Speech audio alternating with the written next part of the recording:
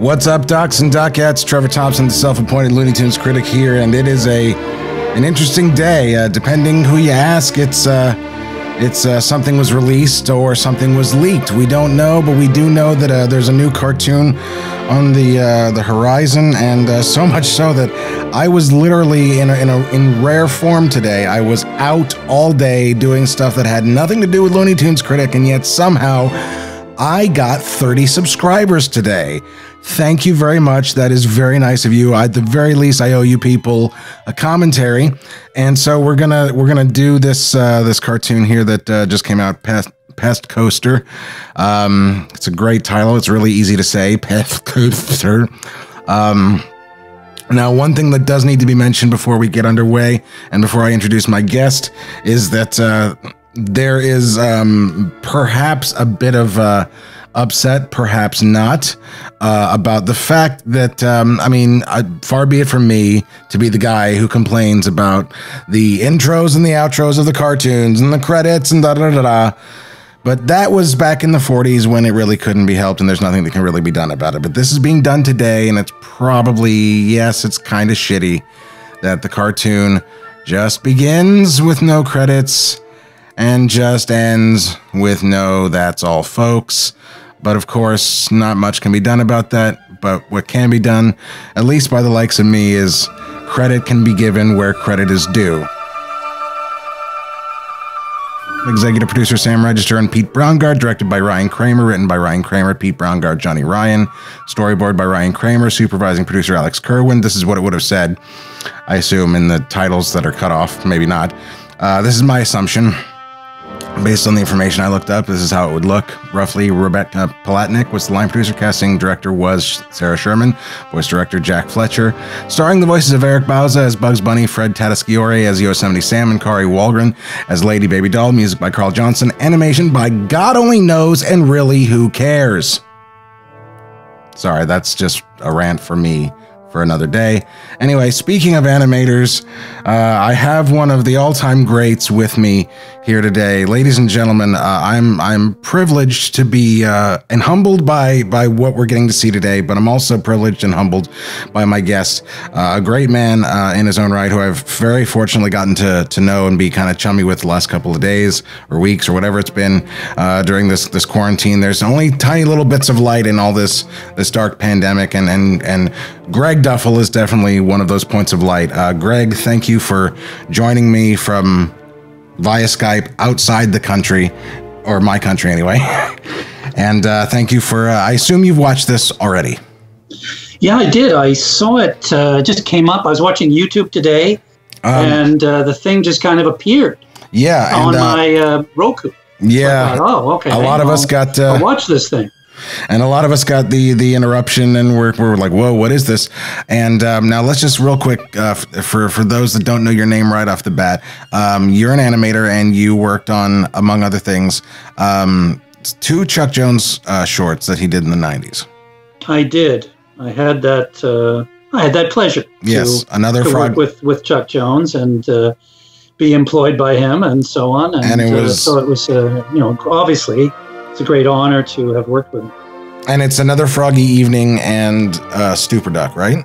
Superior. Superior Ducks. Excuse yeah. me. Yes, yes, yes. yes yeah, I is. wish I, I wish I'd worked on Stupor Duck. that was made the year I was born. So yeah, I do. Apologize. It would have been a bit difficult, but uh, it's been a very long day. yes, you're correct. All right. So, um, and you also did some directing. Uh, you you you did you had your own studio. Um, you know, and uh, you did uh, oh, you did you did some Taz Tasmania episodes too, and you I worked with Ken Harris. You worked with Ken Harris. You have a cat. Um, Clearly, you yeah, have. I do. There's a cat there. I uh, I met a lot of the Warner Brothers animators and directors somehow, briefly sometimes, sometimes a little more intensively. But uh, so I've been always been a big Warner Brothers cartoon fan since the. Uh, it seems like the day I was born. So uh, you know, it was uh, sort of a fate that I got to work on, work with Chuck Jones. I never thought I would. Well, or any of them. I can only, I can only, uh, I can only guess what that's like. And then again, I, I only got to meet him once, but then again, I never thought I would ever get to meet him. So you and I are going to wa- sit down and watch this.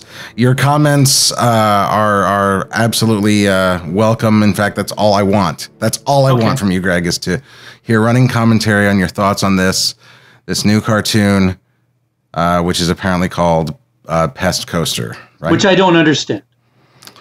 Okay, so Pest Pest Coaster is now beginning. Here we go. Amusement park. And uh, the, it's it's going to be quiet, by the way. Uh, Some of this reminds me. That first shot reminds me of the cover of that uh, Maurice Noble book that Tod Polson did. Ah, yeah, yeah. Uh, Noble approach. Yeah, I don't know why, but uh, they definitely uh, got the original colors. I mean, they digitized them, but they got they got very close to the original. This was a strange bit, I thought. Why you don't see what he's looking at? You know, there there's no shot of what he sees. Just this thing flies in front of him, and he goes, and that's how he knows he's in an amusement park. Thought that was a lot. I like this line here. This place isn't kidding around. I am amused. That's straight up Eric Bauza. That's like one of those moments where, in the old days, Mel Blanc would just you know use his real voice for something and it's not like Eric sounds like that, but it's it's not really Bugs. It it, it just sounds like Eric to me. You know what? It, you know, Bugs Bunny is more like that uh, little chick character in Slick Chick. I found. Yeah. Oh boy! Hey, you know, you know that kind. You know what I'm talking about in that yeah. and Lego cartoon. It's not like Bugs Bunny. it's it's another character altogether. So when you look at the animation for this, what do you yeah. what do you see right away? I mean, after years of, of working. Uh, well, I, I don't know. I mean, it's it's sort of strange looking. I guess it's it's very the lines are are very clean, and you know, and sometimes you know it looks like they've the drawings are okay, but I don't know. It just it just seems doesn't seem to flow. I guess you know it's not. Yeah. It uh, it looks like they've taken every shortcut they could when they could. Yeah. You know, like sometimes they're not. It, I mean, you know, that looks okay. It feels very. I mean, no, this. I mean, I'm a huge, huge fan, but this feels kind of Ren and Stimpy to me. It's in oh well, that is really uh, endemic in this in all these cartoons. Every the people who made this are influenced by Ren and Stimpy. Yeah, yeah. So you see it all the time. But there's a gag. And also, they think that that that, that Bob Clampett has something to do with Ren and Stimpy, you know, which and because of John Kricfalusi. So yeah. it's all very confused. Well, and there's a gag coming up here too that we'll point out that is very Ren and Stimpy that you wouldn't have they wouldn't have done in the classic uh, cartoons, and we'll point it out. I'll just call it the uh, the scarecrow gag. Well, Friz sure as hell wouldn't have done it. No, and this is very much in Friz's style. You're right. Um, this is a very strange sequence, I think. This whole part on the, the yeah, because normally Yosemite Sam would be an existential threat to Bugs Bunny. Just sort of running around like that is not like he'd have a gun, right? He'd have a couple yeah. of six shooters or something. Yeah, right? it'd be a, a problem. yeah, I don't. Yeah, they're they're funny about guns now. A lot of the time. I mean. So here we go. That's not a bad drawing, and I don't mind that gag. But it is a written, and that looks like something out of Beetlejuice. That roller coaster right there. That looks like. Do you remember the Beetlejuice yeah. cartoon? And yeah, it, yes, it's. Um, this is it. This is this is the gag. Basically, he's dead, right? Yeah, that, then, that's his skin. I mean, it's, and it's it's not. It's sort of what they would do at Warner Brothers, but but not to that extent, and, and where somebody's basically died and lost their skeleton or something. Right. I mean, it's it's it's grotesque. Yeah, but I mean, they don't color it in and that kind of stuff. But yeah, it's definitely something I wouldn't have done in the old days. This gag doesn't really. Pl- I remember when I, when I first saw this, I wasn't sure what the hell was going on. What that he hit it and then it went. well, that he had a jetpack or something. I don't know. I just kind of missed it. You know. yeah. It's uh, they know they know what's going on. We don't. I like the premise of this this gag. I don't know that it was 100% executed. I've only seen it like twice though before we recorded this. But I mean, well, that Bugs Bunny, like, notice how the background is just going by all the time, and he's on a roller coaster. But it's oh, and it, that's like Roger Rabbit. I'll save you, baby. Is that yeah. what they're doing? Well, he's worried that Bugs has the baby, you know. I know, but you don't know why. You yeah, know, like I mean, why would he? Suddenly, why? suddenly he. Well, he later on he tells us because he walks to the camera and says, "By the way, I would never. I don't like no animals, but I don't want to kill no babies." He yeah, I know, but they're sort of. It's. But it, know, it, it is tacked on. It does kind of feel that, that you know the motivation should come before that. Boy, am I sure relieved I didn't hurt that baby. I despise me some animals. This looks very vacant, you know, for a, if you're trying to do a Warner Brothers cartoon. This whole that bottom of the background. Now this character here reminds me of the kind of styling in Home Tweet Home, the Friz Freleng yeah. uh, Tweety Sylvester cartoon. You know what I mean? Yeah. Wow. Good call. I yeah. And this is real, like up close, gross kind of. I love that it's on the toilet though. Still, that was a See, the thing is, like, it's it's the execution that can that can kill it. I mean, even if you have good ideas and you know good voice, I mean, just everybody who works on this is talented. That's there's that's not in question. It, the question is, does it work? Well, we say no. You would say no. it's I would say no. I mean, it doesn't work because the, the the whole ending there with him and the baby. That's the whole like that's that takes up quite a lot of the whole show. How, how, how long is this thing? Five minutes and 30 seconds. Yeah, you see, you know, uh, you can't do it. You can't have a story in that short amount of time. That's why people don't like the the later Warner Brothers cartoons. And I want to say the later Warner Brothers cartoons, the ones made after about 1960, right? Because a lot of those are, and DePatie-Freleng ones that were made in the mid 60s, they're all too short and and that was a progression over time where they would bring this the, the the length of the cartoon down. You know, like we were saying, I was talking to you the other day about a Bear's Tale. The Tex Avery cartoon is well over nine minutes, and then they got him down to eight, and then they got him down to seven, and then you know, and then and then by 1960, I think it's a Roadrunner cartoon in the late 50s that might be under six, and then by the early 60s, they're they're, getting down around six and with all the titles and everything. And then DePatie-Freleng ones are around six or something. I could be wrong, but I, I think I'm close. It's hard. It's hard to because what you got to do is you got to establish the premise of the cartoon, which takes some time. You know, and in fact, I probably think they took too much time here. You, you, have only got a minute to establish the premise, tops.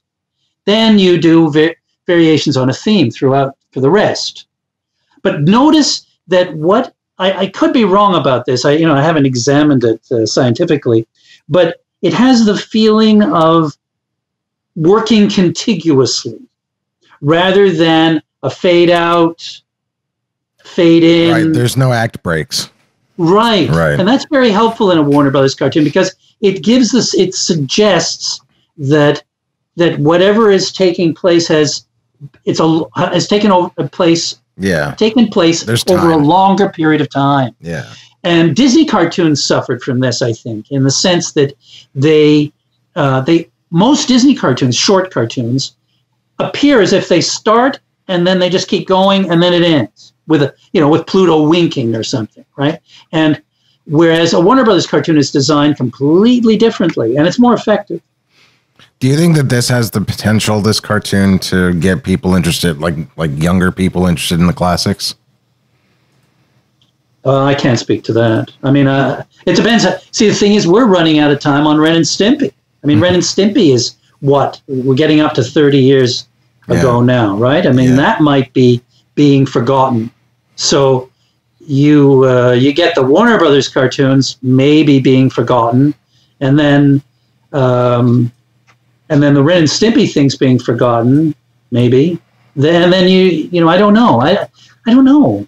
It's hard to I can't speak for for people today what they're going to like and what they won't like. But I do like I think there's great skepticism about about these films already, and I think that's surprising because why is that? Well, I think that most people are pretty um, uh, uh, kind to to this kind of work. I mean, I've seen things that you know aren't as good as this get you know people going oh that's pretty good you know have you seen what, wow that's great well whereas whereas this one this stuff is uh, you know it's already encountering a bit of of pushback because it doesn't feel quite right and and I think that's um, you know they're they're trying to make these cartoons using different techniques and and you know it's and also the you know they they can they can have the Bugs Bunny look like you know drawn sort of like he was in the 1940s, but then they've got these backgrounds that don't go along with the characters. They don't look like any Warner Brothers cartoon, as far as I'm concerned, that's ever been made. So they don't fit. Nothing fits together, you know, in terms of uh, uh, they don't. I don't know. Just doesn't look right um, to me. They're they're all like that. That whole ending there with Yosemite Sam when he walks out of the um, when he walks out of the bathroom. It's uh, you know that's not that good. You know, I mean it's design wise, it's not very good. That's all I can say. I mean, it's uh, like this. Like, like the elements, like the, the I think this is the, the, the woman character is okay. That that's like what I said, like a 1950 Warner Brothers cartoon. But but what's behind it isn't is doesn't fit somehow. And I understand that there are difficulties in this, but and like then the title itself is kind of odd. Like right off the top of my head, I could have I, I, I was talking with a friend of mine just a moment ago about this cartoon over Facebook. Like I came up with Roller Coaster Rabbit. You know, I mean that's not that exciting, but I mean it's maybe better than Pest Coaster. Well, I mean or, they, that are or, they did that for Roger Rabbit already. Oh, did they? Oh, okay. Sorry. Yeah. Then I thought Coaster Crasher. That's way better. Yeah. Hair Ride Shelter. um, I like that. I like that one a lot. So you know, I mean, I mean, that's just I was thinking for you know what two minutes just to just a moment ago. Um, so uh, I don't know. It's just I. I mean, I, I grant you know, doing anything like this is difficult. To even get it to be where you go, well, it's okay, is hard. Mediocrity is is difficult. Yeah. Um, That's all I to, make every day, and I work hard to make them. Yeah, you know, it's it's uh, like you see some of these Hanna Barbera things from the from the '70s, and it has these talented people having worked on it, and it looks not so good, you know. But it's even to get to that level is not that easy, and so you know you have to give some credit to these people that they're you know they're trying. I mean, they are trying. All it's right, just, so it's just the the story material is weak. I'm going to give you uh, the last question here, and this is going to yeah. be this is going to be a doozy. Yeah. So having having worked with the greats like Ken Harris and Chuck, what do you think they would think of this if they saw this? Well, the person I think that uh, would have the biggest opinion about it would be, of course, Friz Freleng. Mm-hmm. Yeah. Well, he wouldn't like this gag here you're seeing there, the one with where where basically Yosemite Sam dies, because he got bothered by Tex Avery's in that uh, all this and rabbits uh, stew. You know, uh, uh, Bugs Bunny breaking apart. I mean, that yeah. bothered him, even tempor- you know, for a brief period of time. Hmm, that bothered him. You know, he didn't like that. He thought that was all. So he wouldn't like that. And that's probably the reason why people like John Kricfalusi so are so against Friz Freleng because he doesn't like that kind of thing. But and they do. But um, I think I think Friz because it's a Yosemite Sam and Friz Freleng did most of the Yosemite Sams. I don't, you know, he wouldn't like it. I don't think. But I mean, hard, uh, hard for me to speak for a dead man. Yeah. But, I mean, he might be flattered that they're still using the, the, the combination of the characters, and the, but uh, you know, and he probably would think, oh well, you know, uh, Bug Buddy's drawing okay, I guess. Uh, Yosemite Sam's not right. It's not right. His feet are too big. Your feet too big on Yosemite Sam. that's a really apt. But that's a good impression, by the way. so, so, Bug Buddy. wow. But um, no, I mean, I, I just I think they'd probably be critical of it because it wouldn't be up to their standards, and I think quite clearly it isn't up to their standards. And but you know, it takes time for people who, and I don't know what these people who have worked on this have done before, but it takes time to to um, get good at what you're doing, and and to work out the kinks and and and learn from your mistakes, which people like Friz Freleng and Chuck Jones and Robert McKimson, they all had the ability to do. So, uh, but in this particular case, when a company just wants a whole bunch of stuff made within a couple of years, and then you just stop production and it's over, well, it's a bit difficult to do, isn't it? I mean, you, it's always really a bit of regret that you didn't have more time to to work it out and figure out how to do it or learn, as I said, learn from the mistakes. Greg, thank you so much for taking the time to talk to me about this, man. I really appreciate it. You're welcome, appreciate it. Thank you. And uh, we will uh, also be hearing from Greg uh, in my upcoming uh, video about uh, not just these cartoons, which is coming out on, on May 27th, along with, uh, I don't know, some other, there's some other thing going on on May 27th. I I can't really recall. Do you guys remember? Oh, yes, there's this new series the Looney Tunes cartoons. So uh, my uh, my review about this, uh, in as much as it's about, um, I'm not going to be you know reviewing these cartoons until after they come out, but there's a fair amount of what I jokingly refer to myself as we've seen this shit beforeness to the to these cartoons. We've been promised the goods before and um, and while we are waiting to be wowed, and there is there has been a lot of good stuff. Um, Warner Brothers has done this to us before, and we're going to talk about it in great detail in the upcoming review, which does include interviews with my good friend Greg and also another good Greg, a good friend of mine, uh, Greg Ford, and uh, we'll also be hearing from um, Jim Smith and Jessica Borutski. And uh, so look forward to that. Anyway, guys, thanks for uh, taking the time to watch this commentary discussion about the uh, new Looney Tunes cartoons. I'm Trevor Thompson, the self appointed Looney Tunes critic. And until next time, that's all, folks. All right, Greg, thank you so hey, we much. Made it. So, what did you think of it? It's fine.